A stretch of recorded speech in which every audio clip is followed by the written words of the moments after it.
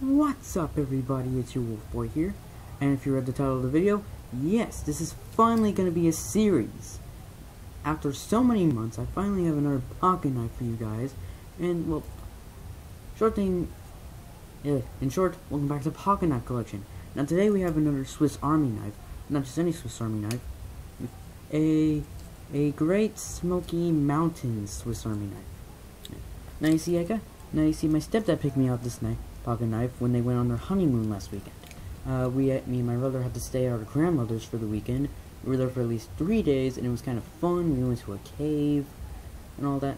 But my mom said they got us like surprises from uh, their honeymoon, and my stepdad picked out my surprise, and this is what he picked me out, another pocket knife.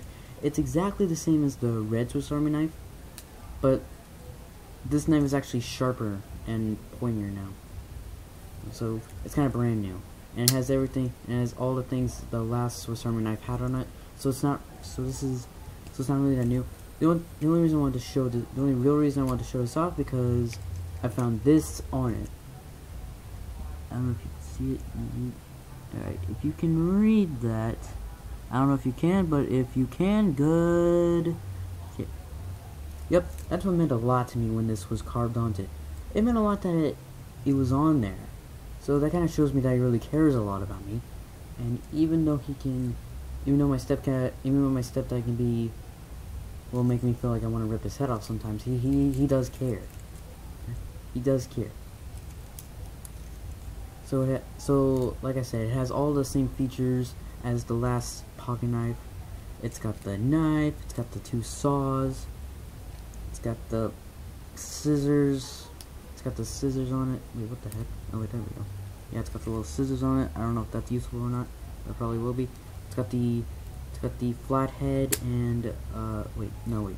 Got, yeah, it does have a flathead screwdriver on it, and, uh, I can't remember what this kind of screwdriver is called, but, it doesn't matter. Also got the wine bottle opener on this thing, and I think these other three things on it are like nail files. And we also have the bottle opener.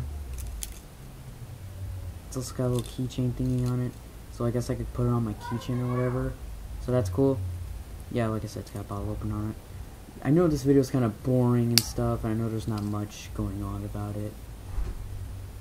And, uh, a fan, um, on, a couple fans on Instagram messaged me and are wondering, like, uh, are you gonna make more Darksider 2 videos? Like, they, they're wondering that. Even though the title of that video said, a little taste of my next Let's Play. So, obviously I am gonna do more videos on Darksiders 2. I guess I didn't read the description below.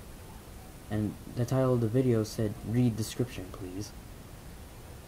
So I guess I didn't read the description.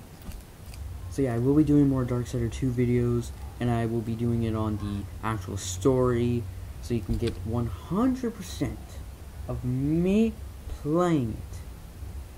So don't worry, there's gonna be more videos on it. And it's probably gonna be a very long series, probably, because the that game is really long. I looked at another person's playlist and it was like over like six, like to be exact, 68 videos on his playlist about it. Obviously, I didn't watch this. Obviously, I didn't watch this playlist because I don't want any spoilers. No spoilers. I don't, I don't like know the entire story of the game. So, I don't want any spoilers. So that's all I have to say. So, thank you guys so much for watching. Please comment, like, and subscribe if you want to see more. And as always, I will see you Wolf Cubs in the next video. Bye-bye.